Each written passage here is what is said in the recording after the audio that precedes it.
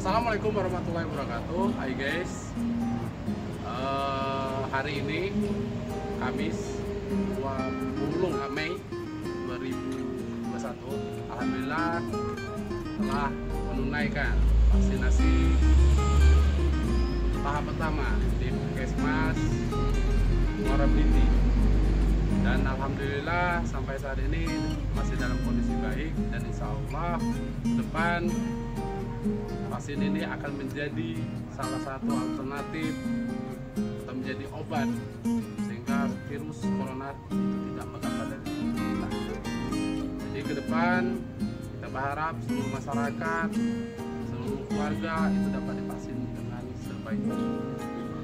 Ayo kita sukseskan vaksinasi vaksinasi COVID-19 di Indonesia. Lawan corona,